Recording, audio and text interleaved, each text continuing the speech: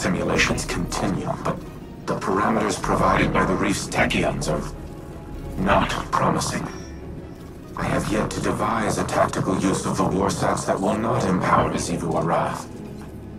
It may not be a possibility. However, we also cannot allow the Wrathborn to take control of the warsats themselves.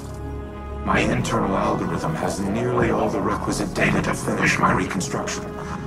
Retrieving more will accelerate the process. I also have a special request. There is a Warmind terminal in the Cosmodrome that is not linked to the rest of the network. While it does not contain any submind data, the files stored within are of critical importance. I need you to procure them. I will provide you with security clearance once you have recovered the next cache of submind data. And Guardian.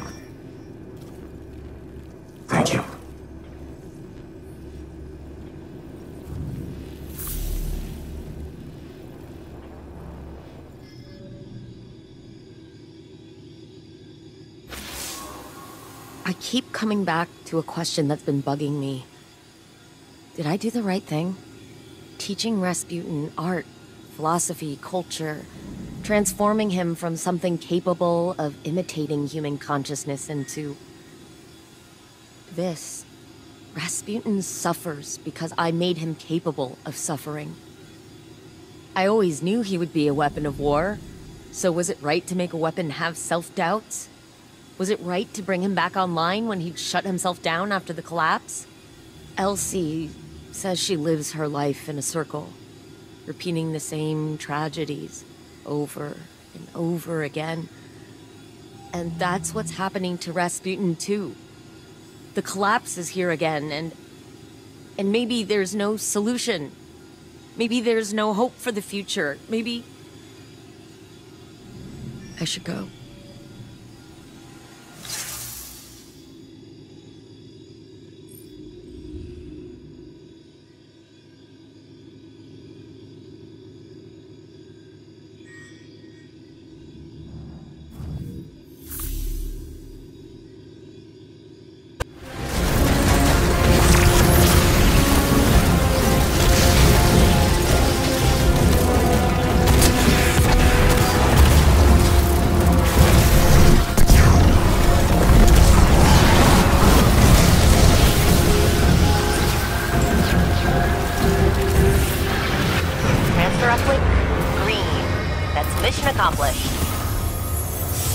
I've heard you were seeing someone. A scientist.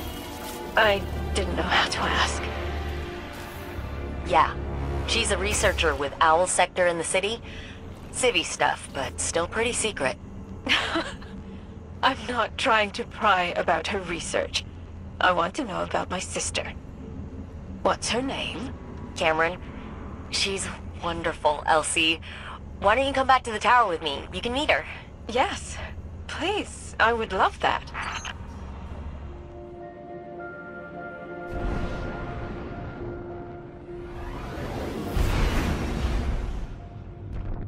The data terminal is located in a subterranean bunker. It contains the most highly classified files in my archives. By design, they have been completely isolated from the network. You must physically retrieve them. Handle them with care, Guardian. Not even Ana knows of their existence.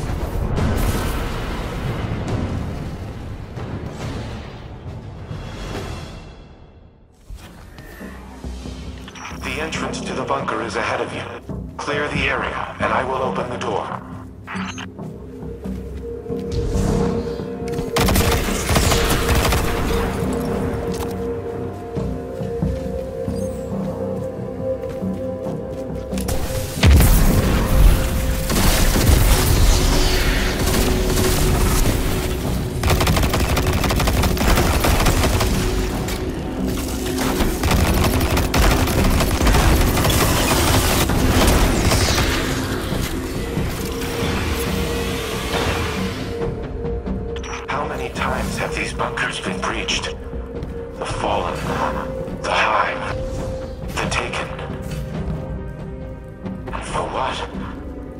My arsenal was insufficient against the Black Fleet. Now it poses as much a threat to humanity as our enemies.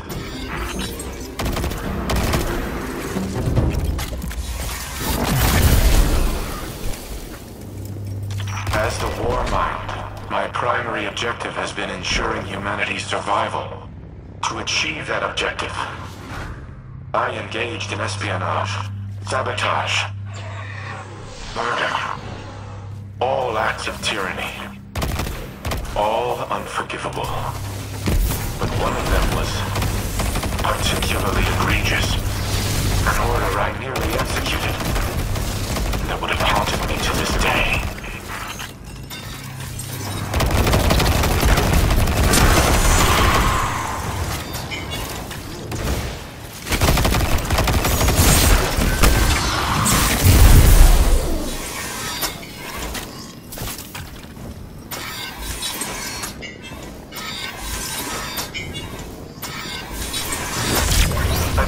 Fallen raiders detected.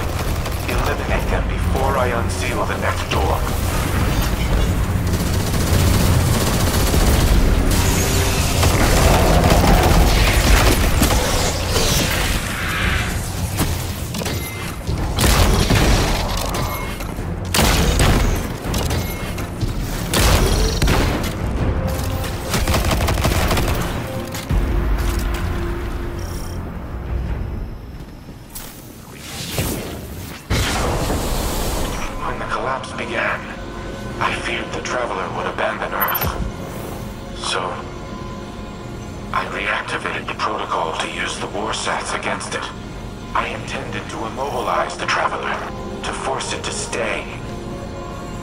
In the end, I aborted the firing sequence. Ana does not remember this, but it was she who convinced me to stop. She has always been the angel on my shoulder. My humanity. She is the reason that I am more than a weapon. I am Rasputin because of Ana Bray.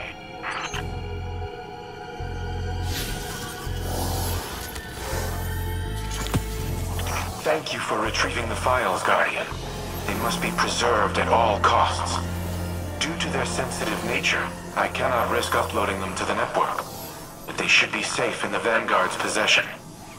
Bring them back to the helm. I will decrypt them here.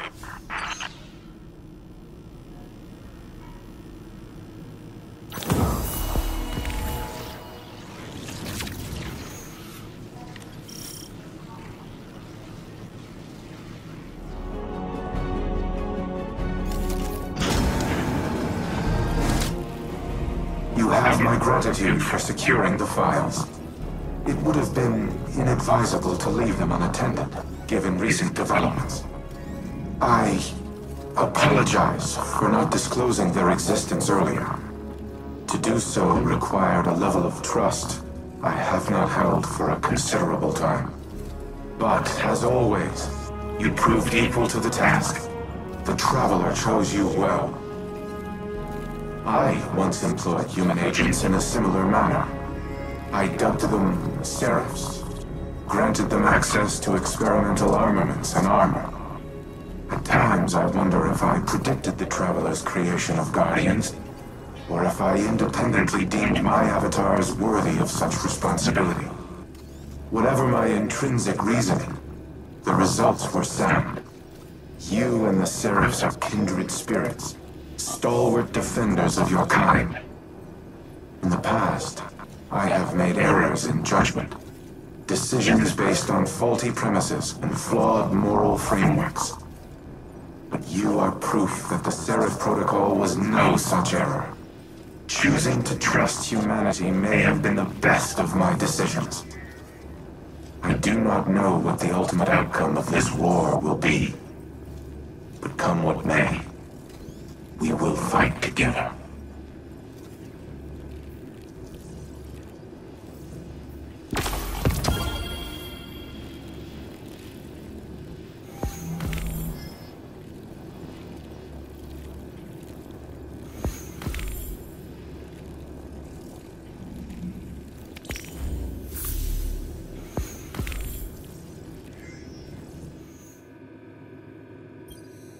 RAS, engage Turing mode, conversational.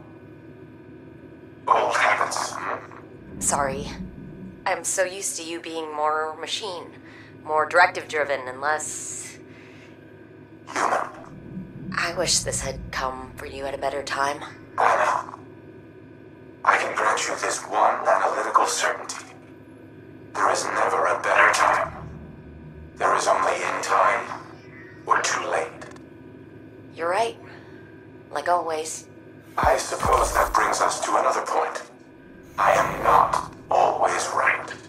I have done things in the name of preserving the human species that are abominable. They were the mathematically correct choice. But they were not the right one. My new exomind pathways have given me an opportunity to review a lifetime of decisions. Weigh them against emotional and moral conceits that I was not, in the moment, capable of comprehending. Others have called me a tyrant. They're wrong. They are not. You have given me the ability to objectively see my own value, but also the ways in which my value has imposed a negative sum to the collective well-being of humanity. It is the sum of an equation I am still trying to balance. But that does not mean your work has been in vain. You gave me choice and free will. And I did with it what I thought was right.